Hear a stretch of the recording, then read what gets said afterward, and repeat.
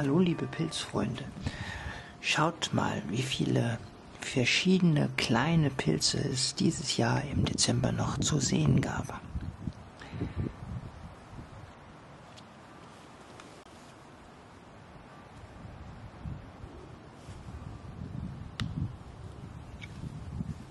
Ein wirklich sehr hübscher Fund im Kiefernwald ist der Fleckblattflämmling. Diese Pilze sind sehr, sehr variabel in ihrer Größe und auch im Aussehen, sind allerdings nicht essbar und deswegen bleibt dieser kleine Pilz auch im Wald. Ja, sogar ein alter Steinpilz hat sich Mitte Dezember nochmal finden lassen, sowie hier und da auch einige von den leckeren Maronen, die allerdings für meine Begriffe auch schon etwas zu alt waren. Die Freude war allerdings groß, als plötzlich einige Perlpilze im Eichenwald zu finden waren. Ein sehr unerwarteter Fund. Im Oberolmer Wald ließ sich dann Mitte Dezember sogar noch ein Tintenfischpilz finden. Allerdings aufgrund der niedrigen Temperaturen konnte sich der Pilz nicht zu seiner wahren Schönheit entfalten. Wie immer bin ich mit dem Fahrrad unterwegs und dieses Mal treibt es mich an den lautesten Ort in Hessen.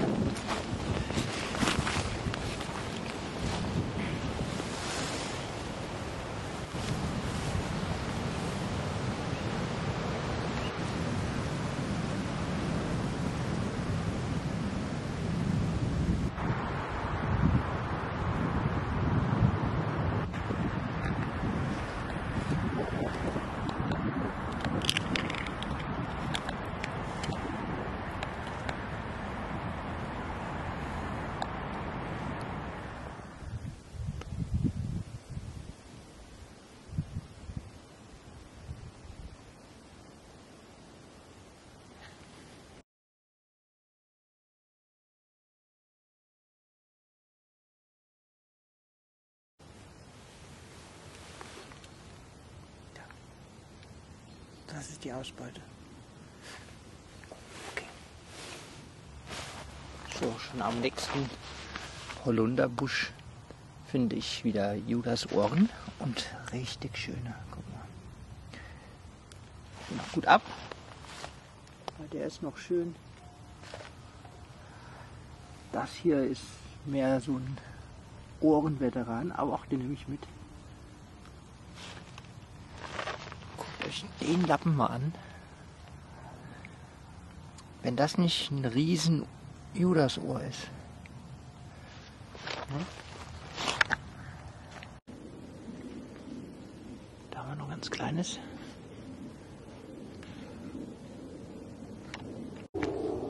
Schaut mal, so groß können die werden. Das ist natürlich für den Holunderschwamm, so wird er auch genannt, ja, ist das natürlich enorm. Ich habe hier noch einen kleinen, ich halte ihn mal dagegen. Das ist der kleine hier und das ist der große. hier wird ganz deutlich, warum der Judasohr heißt, also zumindest Ohr. Judas weiß ich jetzt nicht, aber Ohr, weil das erinnert doch stark an so eine Ohrmuschel. Mit den Adern hier ja, auf der Oberseite. Äh, die Oberseite ist ja eher so rehbraun glatt. Und die untere Seite, das sieht da so aus. Ne? Ganz interessanter Pilz.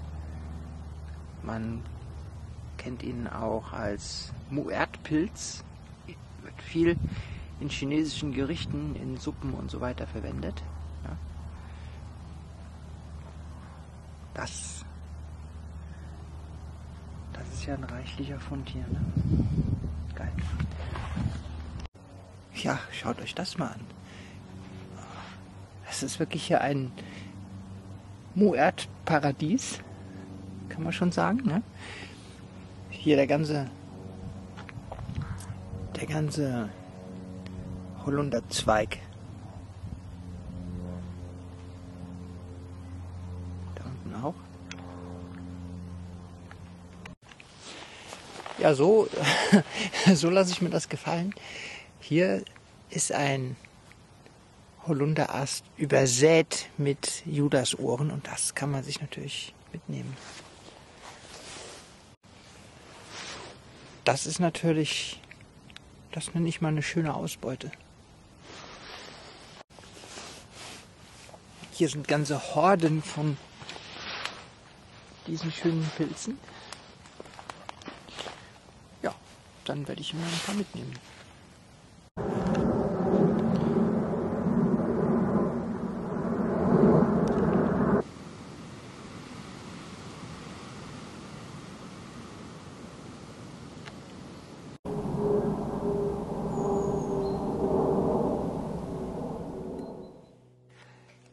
Ende Dezember traf ich dann auf einen wirklich außergewöhnlich geformten Pilz.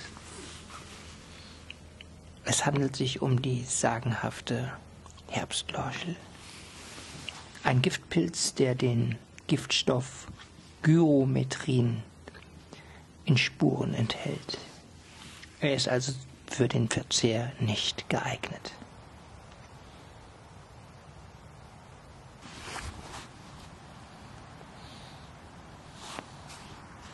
Ende Dezember findet sich noch hier der kaffeebraune Gabeltrichterling. Das ist ein essbarer Pilz, der allerdings von relativ bescheidenem Speisewert ist. Und na, ich mache ihn jetzt nicht ab. Ähm, die Merkmale sind gut erkennbar. Ich sehe hier kommen in der Nähe auch noch ganz frische und da gehen wir jetzt einfach mal hin. Da steht zum Beispiel ein ganz frischer kaffeebrauner Gabeltrichterling.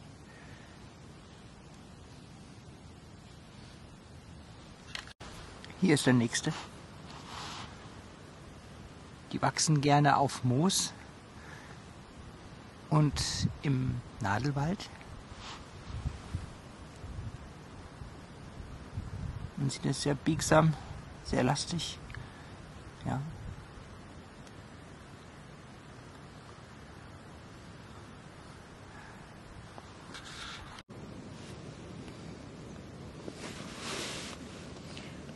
Wächst auch an Baumstümpfen von Laubbäumen.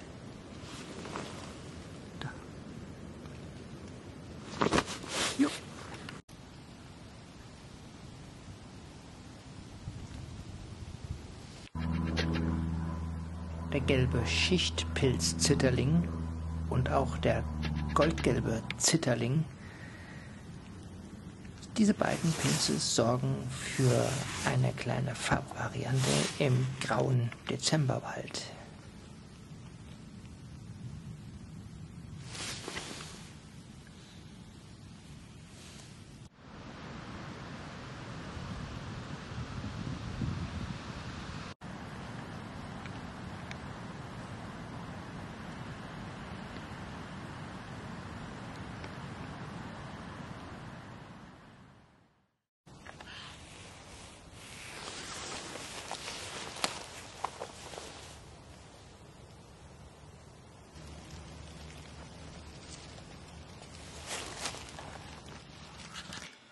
Obwohl Samtfußrüblinge ausgezeichnete Speisepilze sind, enthalten sie einen leicht giftigen Wirkstoff, der durch Erhitzen über 60 Grad zerstört wird und somit wird der Pilz für den Mensch genießbar.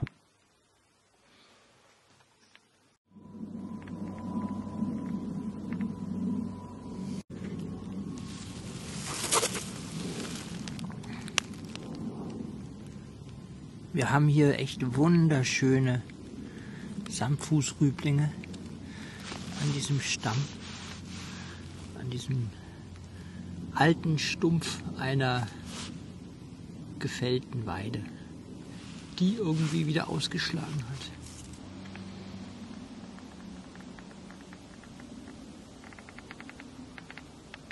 Lauter schöne, noch ganz frische Samtfußrüblinge an einer umgestürzten Pappel.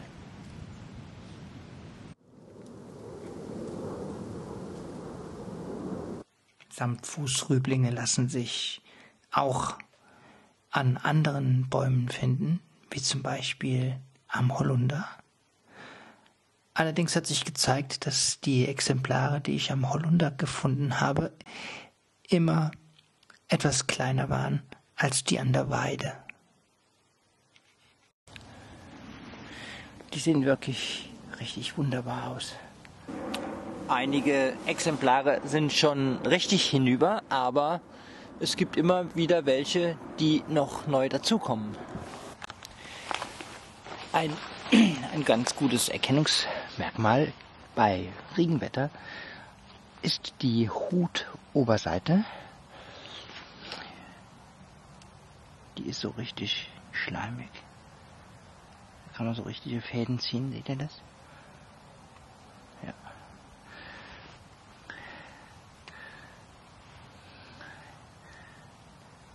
Na? Und den einen nehme ich noch mit. Und unten drunter, ihr seht es schon, kommen noch weitere kleine. Hier wunderschöne kleine Samtfußrüblinge. Da unten auch. Ja, die können noch wachsen.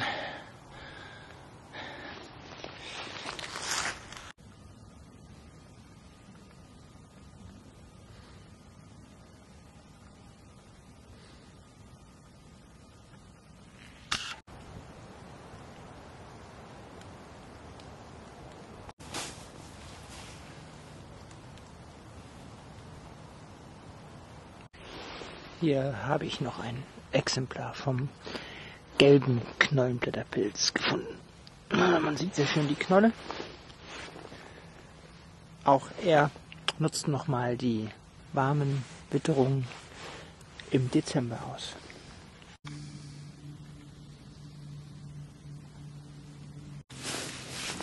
Ich möchte euch mal die Knolle zeigen, wie die ausschaut.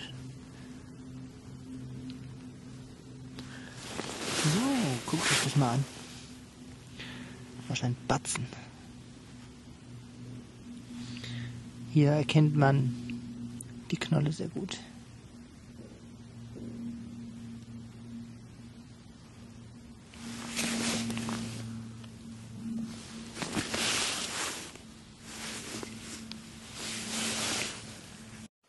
Praktisch das ganze Jahr über lassen sich Schwefelköpfe finden.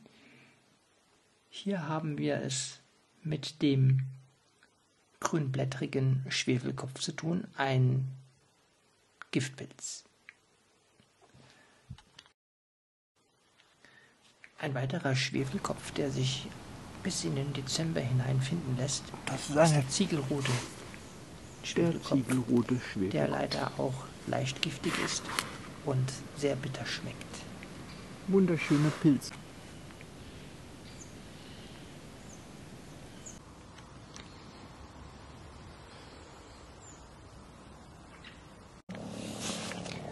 Schön und zugleich selten ist der Hainschneckling.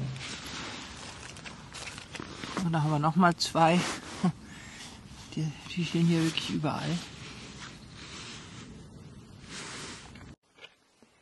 Dieser zierliche kleine weiße Pilz duftet nach Marzipan.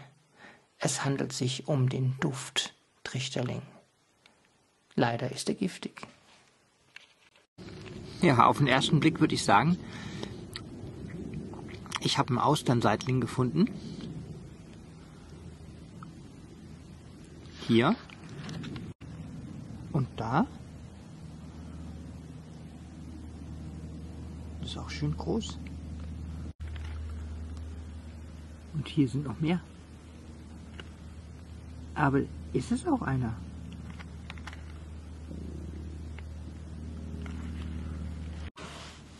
Das sieht so aus, ne?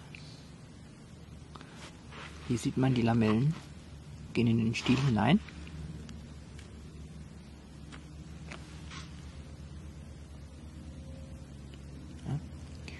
Ich hole noch mal einen anderen.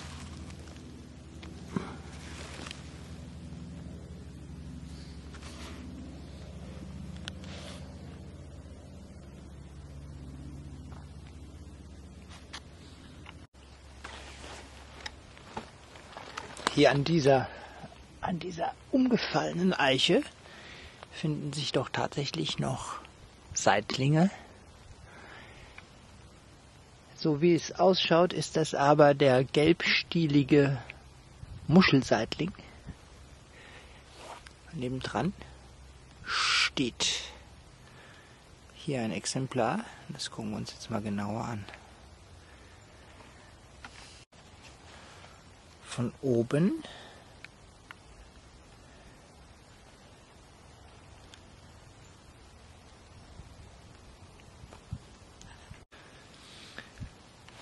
Da sieht man schon, das ist eher so ein olivbraun. Ne? Jetzt gucken wir mal nach unten. Also man sieht ganz deutlich, dass, dass dieser Pilz einen gelben Stiel hat und dass die Lamellen nicht in den Stiel hineinragen. Da sieht man es ganz deutlich. Das ist also der Doppelgänger vom Austernseitling. Den darfst du auf keinen Fall sammeln, weil er ist giftig.